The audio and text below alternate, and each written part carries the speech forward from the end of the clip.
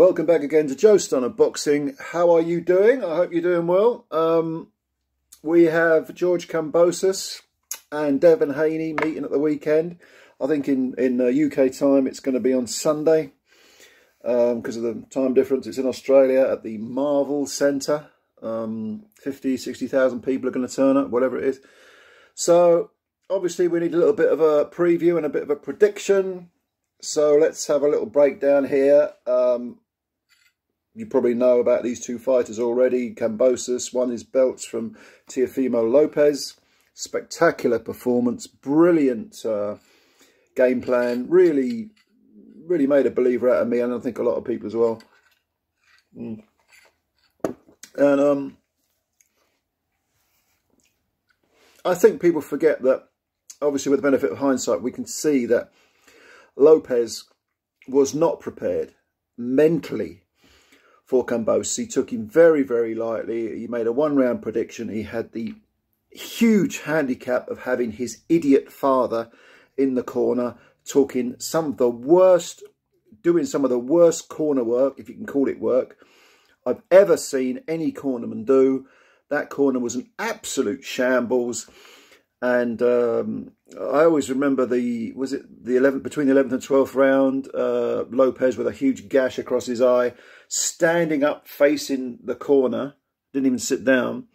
And one of the corner men sort of loosely dabbing at the, the uh, bad cut and making it worse. Blood flying everywhere, didn't even wipe him off. But we do forget that, that although Kambosos deserves immense credit for going all the way to America and winning those belts, Lopez took him lightly.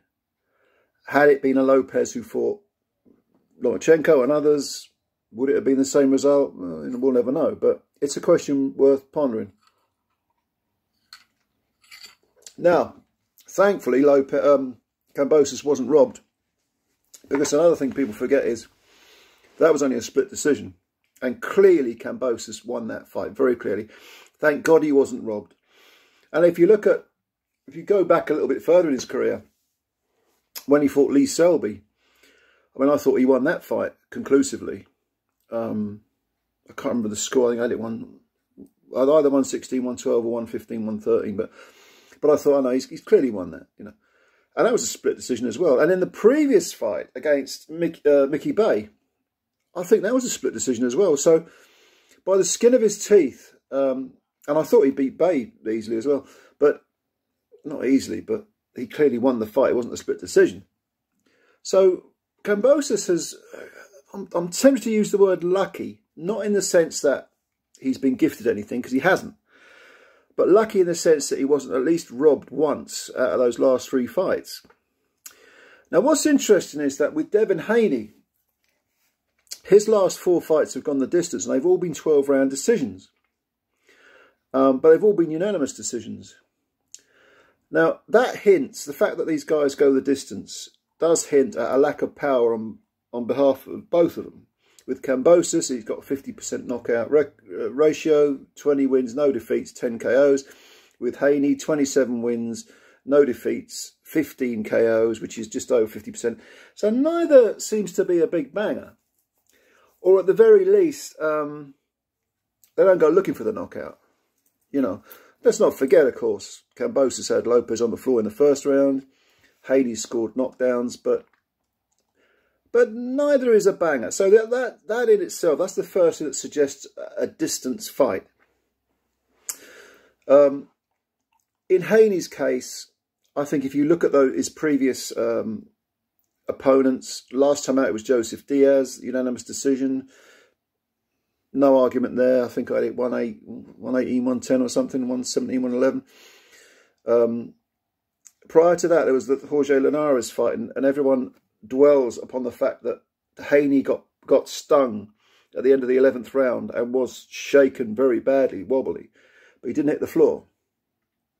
And in the last round, he sort of fiddled his way through it and, and ended up winning, winning a decision, a deserved decision.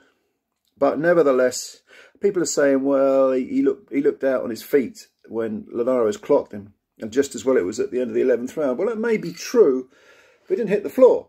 And it was a very good punch. So I, I think it's... And in the last round, he did grab and hold and you know, like I say, managed to have the nous to to hang on when hurt. So that kind of hints, I don't think it hints at a bad chin. I think people are perhaps overreacting to that, that one incident. Um, and let's not also forget that despite knocking Teofimo Lopez over in the first round, it was it the 10th when Lopez put uh, Kambosos on the floor? Uh, and to his credit, Kambosos got up and then retook control of the fight. I mean, yeah, you know, but both these guys can be stung. It's, I guess it's true of anyone. If you hit them cleanly, they can be stung.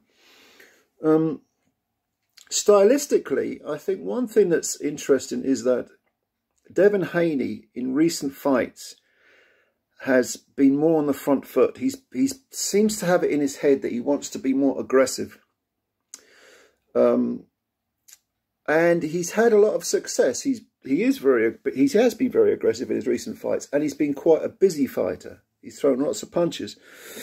Um, he seems to to have increased his output, and not turned himself into a banger, but moved less, moved backwards, moved side to side less. Wants to get a bit more involved. Now, I think that would be a mistake against Kambosos because Kambosos likes the counter-punching style. Against Lopez, he was he was doing it all fight, all for into the entire 36 minutes. He was looking to counter. I think if Haney goes forward too much and tries to be too aggressive, I think that works into Kambosos' hands. Because Kambosos against Lopez controlled the range absolutely brilliantly. Was just out of out of the range on the periphery of it. And then Lopez would come forward and uh, Kambosos would, would pounce with a counter if Haney falls into the trap of constantly moving forward, forward, forward, trying to close the gap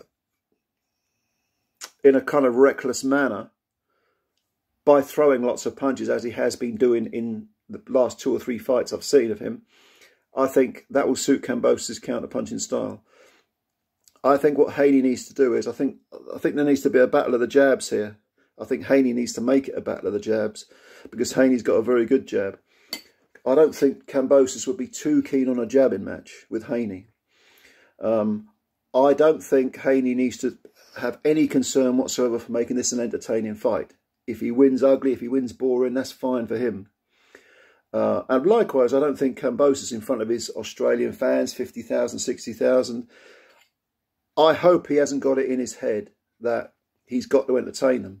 Because if you start thinking in those terms, game plans can, become, can become a secondary consideration. And I think that would be a bad mistake.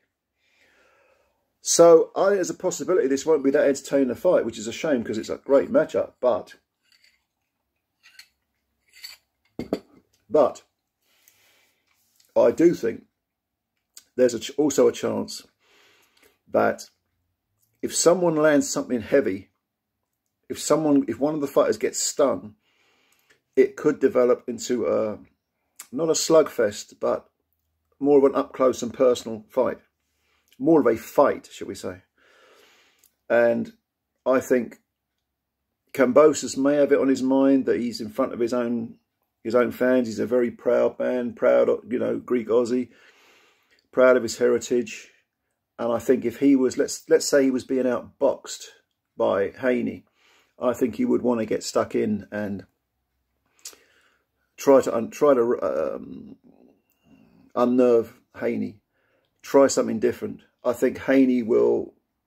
Haney's best bet is to, as I say, stick everything off the jab, make it kind of dull, a bit frustrating. Then maybe once you've got once you're controlling the range, you hang everything off the jab. Both these guys guys are orthodox fighters. Um, and try and frustrate early on. Try and frustrate Kambosos. Um, don't move. Don't be too aggressive. Don't give him too many uh, opportunities to counterpunch. Kind of yeah, frustrate him. In Kambosos for Kambosos, if he can't draw Haney's sting like he drew Lopez's sting, he's going to have to come to a plan B. Because if this becomes a pure boxing match, a pure jab fest, I see Haney winning this fight. But if Lopez, uh, if uh, Kambosos can be a bit more aggressive, intelligent aggression, maybe take the odd gamble. Body work shouldn't be neglected either. There should be lots of punches to the body, I think, from both men. Put that money in the bank.